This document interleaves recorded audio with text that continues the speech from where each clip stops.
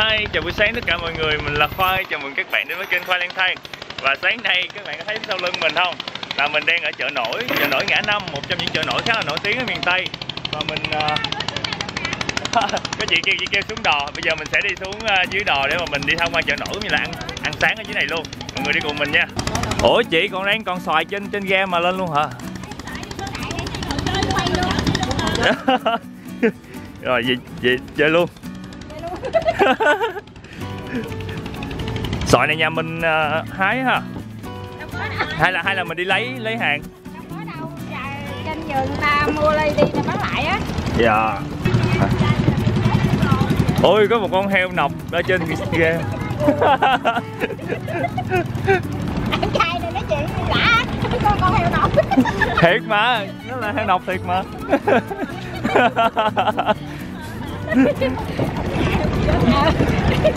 Đấy, ở bên kia mọi người có thể thấy là đây là một cái ghe người ta chở ờ, cây giống. Dạ. Và buổi sáng ở đây rất là tấp nập nha. Hầu như ở trên bờ có mặt hàng gì ở dưới đây sẽ có mặt hàng đó. Đây là lúa. Lúa hay chấu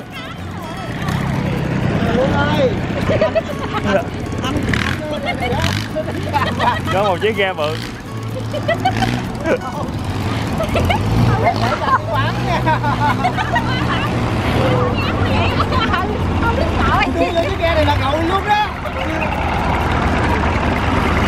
Phía bên kia các bạn thấy là có hai em nhỏ đang đi học. Đang đi học thì ờ, có một cô chèo đò sang sông. Chị, sáng nào mình cũng đi ờ, lấy ờ, trái cây về để mà bán gì hết hả? sáng nào? Dạ. Mình tên gì hả chị? ai? Chị á tên uh, liên. Chị thích kêu là chế hay là kêu là chị hơn? Mày hỉ Chị chế à? Chế liên á Không có ăn rồi Đây chị đang uh, truyền uh, hàng cho bảo mối cho người ta. Ui trời xuồng lắc quá. Ở mé sâu trong kia sẽ là cái khu vực mà đông ghe xuồng đậu nhất, neo đậu nhất. Tí xíu mình sẽ đi vào mé bên đó ở bên đây các bạn có thấy một cô đang chở rất là nhiều năng bợp. Năng bợp là một trong những đặc sản rất là nổi tiếng ở khu vực này. Và bây giờ bắt đầu vào à, mùa mưa rồi thì năng bợp cũng sẽ nhiều hơn. Ui à, sao không thấy gì hết Giới thiệu với mọi người, hôm nay chị lái đò của mình, gọi là chế đi, cho cho nó thân quen, chế liên là một trong những người rất là quen thuộc ở nơi đây. Chị, ngày nào chị cũng đến đây để mà lấy trái cây hàng hóa để mà bỏ mối cho người ta hết. Thì à, ủa chị chị sống ở đây luôn hay là ở xa chèo tới? Sống ở đây luôn. Dạ. Sống từ nhỏ lớn luôn ha? Đúng rồi. Dạ. Ở đây bây giờ á chị có đông như hồi xưa không hay là càng ít hơn hồi xưa. bây giờ là ghe xuồng ít hơn rồi ha? Dạ. Trơn tại vì bây giờ kiểu như là người ta bắt đầu lên bờ với lại ghe đường bộ nó cũng thuận tiện hơn. Ờ dạ. Mình sẽ bắt đầu vào trong cái khu vực trong kia là khu vực ờ, tàu bè tấp nập nhất. Ở đây có một cái à, ghe nhỏ bán củ sắn này. Khóm thông thường ở đây giống như là chợ sĩ mà mọi người. Mọi người sẽ đến đây và có những cái ghe lớn đò lớn họ sẽ à, bán rất là nhiều mặt hàng và những cái ghe nhỏ lẻ người ta sẽ đến đây và lấy hàng về đến những cái chợ khác để mà bán. Cô này đang có dâu nè. Dạ. dâu nhiêu ký cô? Dạ. Ôi, rẻ mà không biết nhiêu ký luôn. Bảy dâu 7 ngàn một ký. Bên đây là các bạn có thể thấy là một ghe xoài. Chợ nổi ngã năm là một trong những cái chợ nổi nổi tiếng ở miền tây. Ở miền tây thì có ba chợ nổi nổi tiếng mà các bạn hay biết đến là chợ nổi cái răng này chợ nổi cái bè và sau đó là chợ nổi ngã năm thì ở chợ nổi ngã năm thì nó sẽ không có kiểu mà du lịch như là chợ nổi cái răng. Ở đây thì nhịp sống mọi người nó dân dã, nó gần gũi hơn. Và nơi đây là cái nơi giao nhau giữa các cái à, ghe xuồng của các cái tỉnh à, bạc liêu, sóc trăng, kiên giang, hậu giang. Và trà vinh họ lên đây, họ tập trung, họ họ bán những cái loại hàng nông sản mà họ sản xuất được ở những cái tỉnh đó. Sở dĩ gọi là chợ nổi ngã năm là vì ở đây là nơi giao nhau giữa con à, cái kênh sáng này kênh quảng lộ phụng hiệp và một con sông tự nhiên nó tạo thành năm ngã. Trên dòng sông này mọi người gọi là chợ ngã năm. Ở gần đây có một chợ nữa là chợ ngã bảy.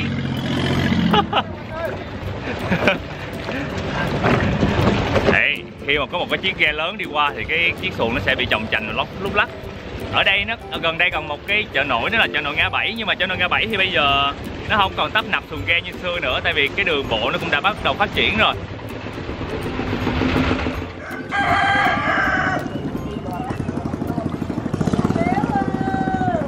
Ôi, một cô cô này cô đang bán hủ tiếu và bún ở trên ga. Bún gì vậy cô? Để cho con một tô ờ, hủ tiếu đi cô ơi. Dạ. Hủ tiếu và bún riêu. Mình đang thấy cô đang sử dụng cái sợi hủ tiếu ờ, dai đặc trưng của miền tây. Một ngày mình bán được bao nhiêu tô cô? Bốn năm chục. à bốn chục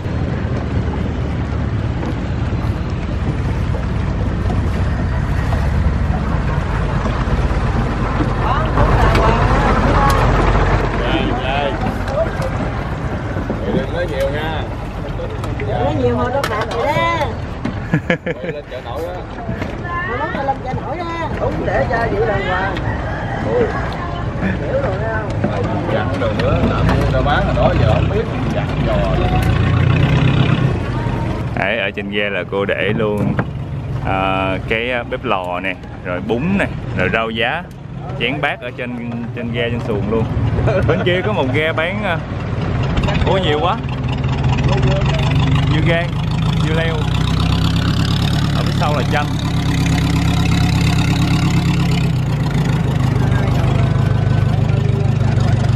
Bao nhiêu vậy cô? Tí xíu trả tiền luôn hay là sao? Dạ mình đang ngồi trên ờ, một cái ghe trên chợ nổi ngã năm và đây là tô ờ, hủ tiếu 15 ngàn của một cô lúc nãy. Cổ đi đâu mất tiêu rồi? Tí xíu nữa mình trả tô sau cho cô, đúng không chị? Dạ. Rất là thơm. Cái sợi hủ tiếu đặc trưng của miền tây. Nó dẹp hơn và nó dai hơn.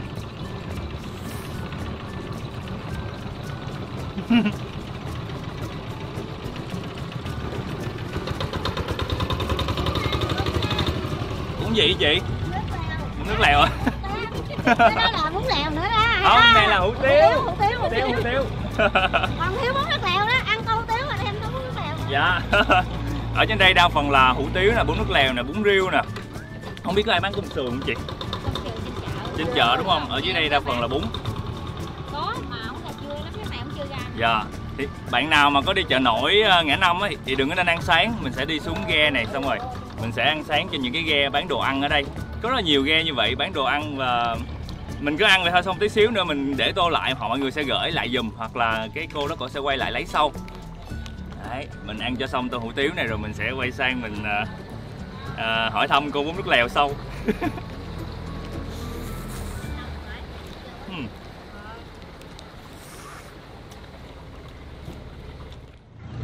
thường thì ở phía trước ghe họ sẽ có một cây bẹo để họ treo những cái ờ, món hàng mà hôm nay họ bán lên trên. Ở đây các bạn có thể thấy là có ờ, bí đỏ nè có củ sắn nè có hành tím nè có khoai nè có tỏi nè có bắp cải nữa. Ở trên ghe bán cái gì họ sẽ treo cái, cái đó lên trên cây bẹo. Cây bẹo ở đây cũng hơi khác so với chợ nổi cái răng hoặc là chợ nổi ờ, cái bè là họ treo ngang chứ họ không treo đứng có thể là do nhiều hàng hóa quá nên họ sẽ treo dài một hàng như vậy cho dễ treo hơn.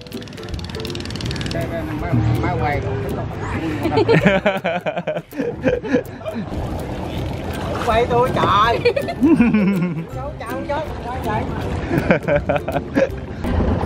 Đây là một à, ghe bán hột vịt ôi to quá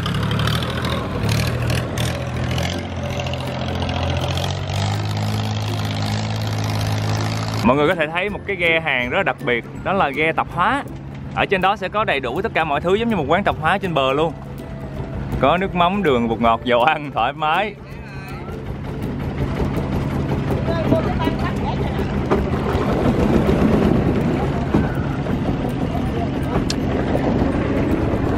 Còn đây là một ghe bán à, nước, bán cà phê của chú này. Khi mà ghe đậu vào họ sẽ có một sợi dây họ móc vào trong cái uh, ghe lớn hơn. Xong rồi mới bắt đầu bán.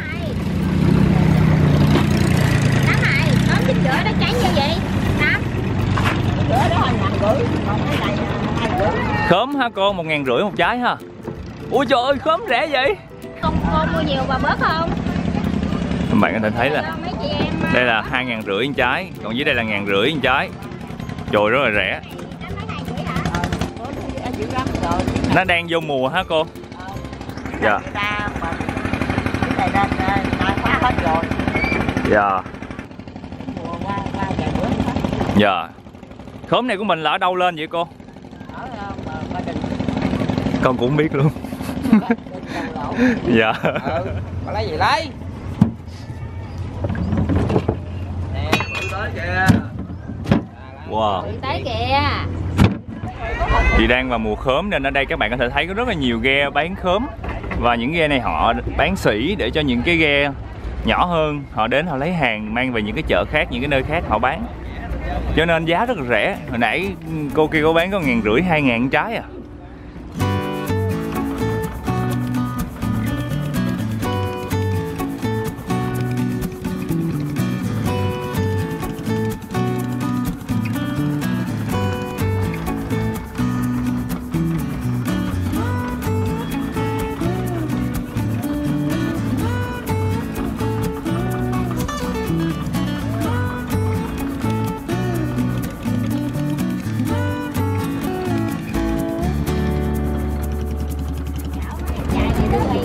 Có một ly cà phê cô ơi Dạ dạ. Dạ. Mình có kêu một ly cà phê sữa cô này. Cô bán cả ngày luôn hay sao? Cô hay là buổi sáng thôi? Bán 8 giờ gì 8 giờ về Dạ. Đây, đây là cái quầy cà phê của cô đây. Dạ. Xúc khoai Dạ về xúc khoai lang ờ vô bọc ờ, chục chục hả ừ mày à, vô ba người năm tấn là năm trăm ngàn ba người chia ra. Ừ. Ít chị. Mày xúc mày nhiều mày à, xúc năm tấn à? Mày xúc mau à? Hai giờ mày gọi vậy hai hai giờ mấy ba giờ mấy giờ? Xúc mấy giờ mới gọi? Bao nhiêu một ly vậy cô? hai ba giờ. Đi tắm nè Dạ. Gì Con ở đây từ tối hôm qua rồi. Dạ. Dạ. Dạ chắc con ở đây ngày hai ngày nữa về à? Dạ Đây, đây là ly cà phê 8 ngàn ở chợ nội ngã năm.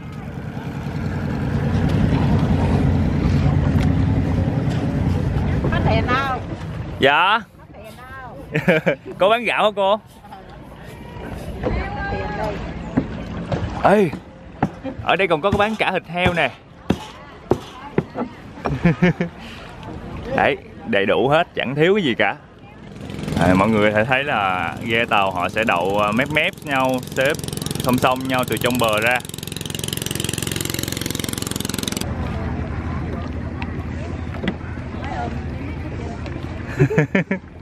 Dưa gan này là nhiêu ký chị? 4 ngàn ký hả? Rẻ ghê Giờ trái cây nông sản cái gì mà nông dân trồng ra cũng rẻ hết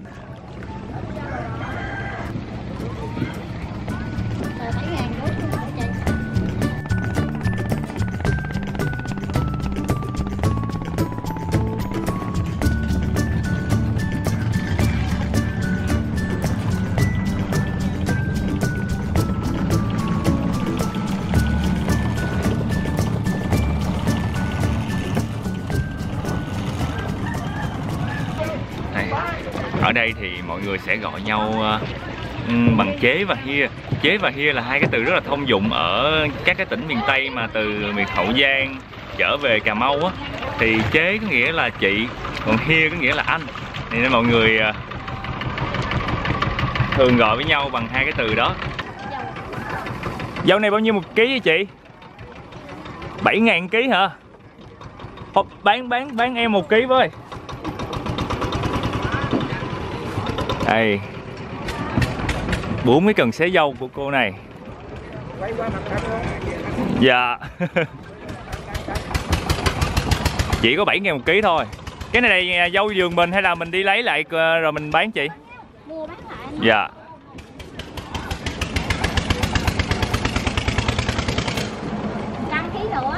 Cho cho cho em một ký nữa. Rồi.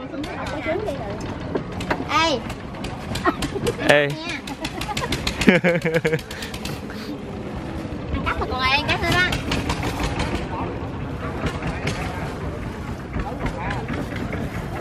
bảy ngàn hả? Dạ.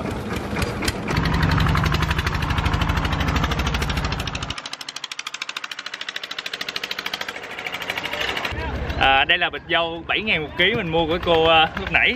Ở trên đây hầu như trái cây mọi thứ đều rất là rẻ và giá giống như là giá sỉ vậy đó và mọi người ở đây họ vừa mới lấy tại vườn họ mang lên bán luôn.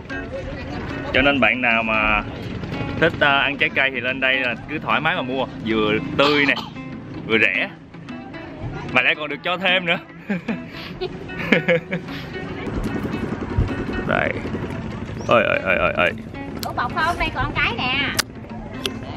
Ừm. buổi sáng ăn dâu không biết có sao nữa. Chua chua ngọt ngọt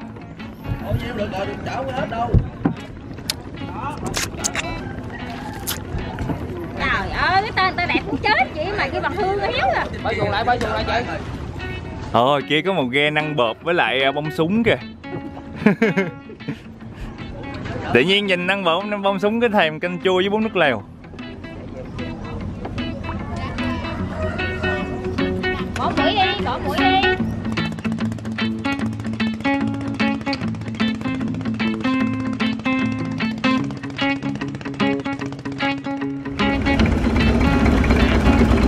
Bên đó là ghe của một cô bán bún nước lèo.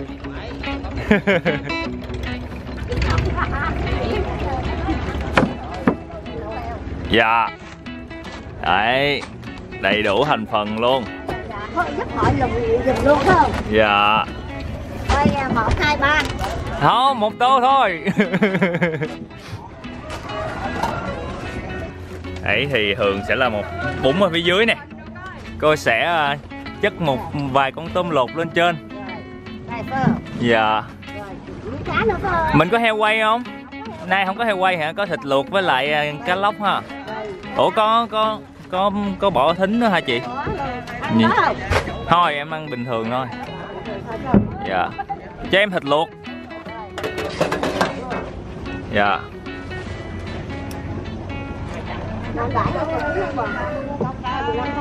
Ui thơm quá cái nồi nước lèo thơm quá Chỗ uh, sợ tao tóc ra tôi mua bọc chờ đi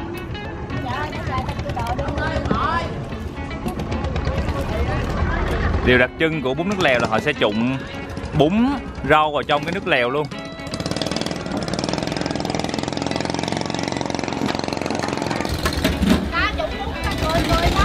Cười lên hả? Cười thôi cười quá ta cười theo à.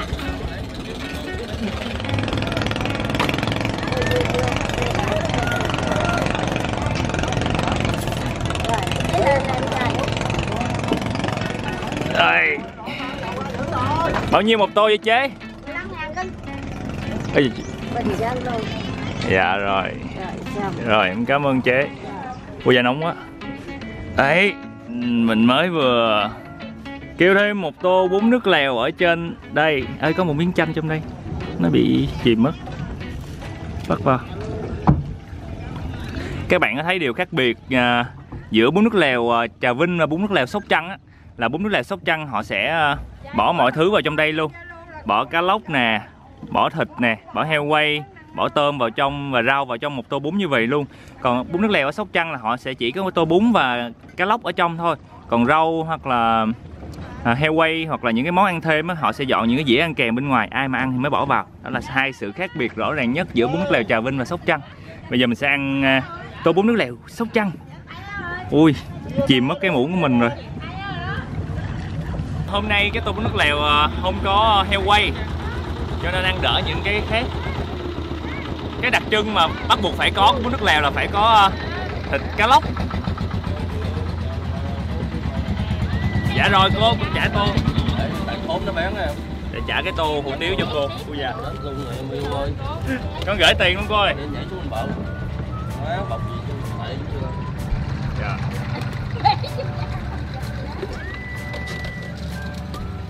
Dạ vâng cảm ơn. Trời. Ơi trời. dạ. Khớm của chị liên. Dạ đấy. Đấy gì em mua này? Rau ở trong đây thì sẽ có kiểu rau muống này rau bông chuối bào rồi giá. Mình sẽ ăn thử cái sợi bún trước nha. Minh sống chứ đâu. Nóng quá. Đủ mẹ cỡ khổng vỏ.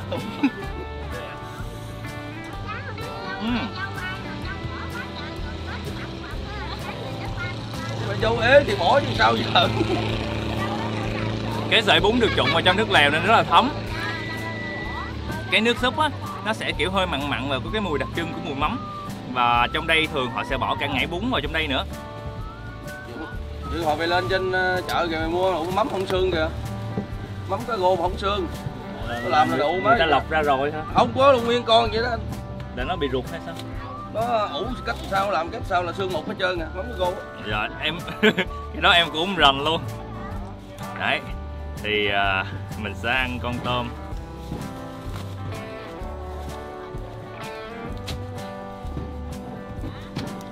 mà khá tiếc ha, tại vì thường mình ăn bún nước lèo mình rất là thích bỏ heo quay vào trong này. Khác biệt lớn nhất giữa ờ, bún nước lèo và bún cá là bún cá thì họ sẽ bỏ rất là nhiều nghệ vào trong cái nước lèo cũng như là ướp cái phần cá lóc. Cũng như là họ sẽ dùng ờ, mắm ruốc. Thay vì là bún nước lèo, họ sẽ dùng mắm bò hóc hoặc là mắm cá sặc. Nhưng mà người ờ, kinh của mình thì thường sẽ nấu bằng à, mắm cá sặc, tại vì mùi mắm cá sặc nó nhẹ và nó dễ ăn hơn là mắm bò hóc của người Khmer. Đấy, bây giờ thì mình sẽ bắt đầu đi tham quan tiếp cái chợ nổi ngã năm ở đây với lại tranh thủ ăn hết cái tô bún này nữa, xong rồi đi vòng vòng xem mọi người còn bán cái gì để ăn nữa hay không.